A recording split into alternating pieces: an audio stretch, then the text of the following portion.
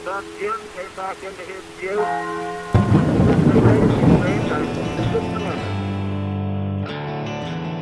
This original film of the Gemini 4 spacewalk is about 8 minutes long, but has been sped up 3,000%. I cannot find it on NASA.gov, but was able to find it on YouTube and other websites.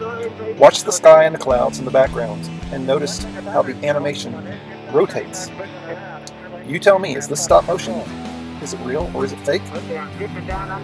This Gemini mission is named after the zodiac sign of the Gemini constellation. The Gemini were twin characters in Greek mythology, which arose from the underworld to conquer the sky and become gods.